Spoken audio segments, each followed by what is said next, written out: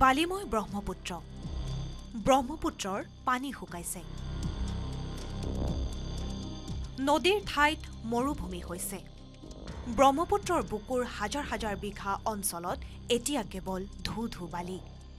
ব্ৰহ্মপুত্ৰৰ নামত সৰু বৰ দুই এটা সুঁতিৰ ব্যতিৰেকে শুকান বালিময় হৈ পৰিছে ব্ৰহ্মপুত্ৰ। ব্ৰহ্মপুত্ৰৰ বুকুত যেন এখন মৰুভূমি। খৰালি ব্ৰহ্মপুত্ৰৰ পানী শুকায়। শীৰ্ণ হৈ পৰে ব্ৰহ্মপুত্ৰ। সেয়া স্বাভাৱিক কিন্তু অস্বাভাৱিক এই ব্ৰহ্মপুত্ৰ। পূৰ্বে খৰালিত নাও জাহাজ চলাচল কৰা স্থানতো এতিয়া কেৱল বালি।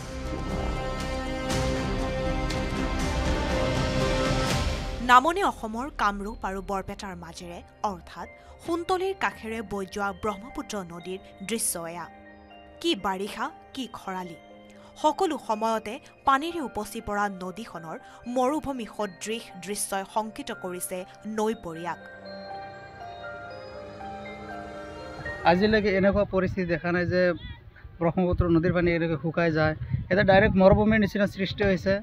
ৰাজস্থান এনেহেন ফিল হয় কি ৰাজস্থানত আছোঁ এতিয়া। মহাবাহুৰ এই ৰূপ দেখি নৈপৰীয়াৰ মনত বহু প্ৰশ্ন। ব্ৰহ্মপুত্ৰৰ কিয় এই পৰিৱৰ্তন? জলবায়ু পৰিৱৰ্তনৰ প্ৰভাৱ নে কৃত্ৰিম নদীবাদ ইয়াৰ বেকগ্ৰাউণ্ডৰ কাৰণটো হয়তো আমি গম নাপাওঁ কিন্তু কিবা কৃত্ৰিম বান্ধ বা কিবা জলবায়ুৰ পৰিৱৰ্তন বা আমাৰ কাৰণে কিবা অশোভনীয় হ'ব পাৰে আগন্তুক দিনৰ কাৰণে এয়া খুব বিপদজনক যেন লাগি আছে। সোণতলীৰ পৰা Abul Kalam Azad news eighteen Assam north east.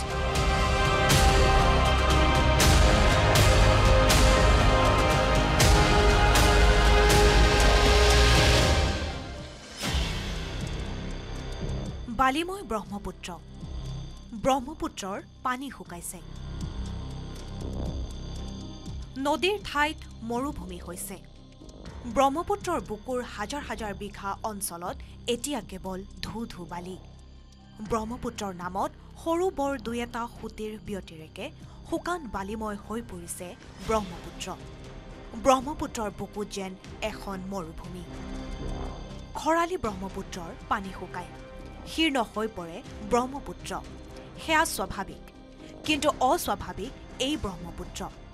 পূৰ্বে খৰালিত নাও জাহাজ চলাচল কৰা স্থানতো এতিয়া কেৱল বালি।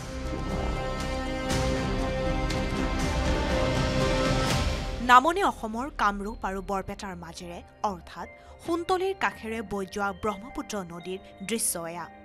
কি বাৰিষা কি খৰালি। সকলো সময়তে পানীৰে উপচি পৰা নদীখনৰ মৰুভূমি সদৃশ দৃশ্যই শংকিত কৰিছে নৈপৰীয়াক। আজিলৈকে এনেকুৱা পৰিস্থিতি দেখা নাই যে ব্ৰহ্মপুত্ৰ নদীৰ পানী এনেকৈ শুকাই যায়। এতিয়া ডাইৰেক্ট মৰুভূমিৰ নিচিনা সৃষ্টি হৈছে। ৰাজস্থান এনেহেন ফিল হয় কি ৰাজস্থানত আছোঁ এতিয়া। মহাবাহুৰ এই ৰূপ দেখি নৈপৰীয়াৰ মনত বহু প্ৰশ্ন। ব্ৰহ্মপুত্ৰৰ কিয় এই পৰিৱৰ্তন? জলবায়ু পৰিৱৰ্তনৰ প্ৰভাৱ নে কৃত্ৰিম নদীবাদ?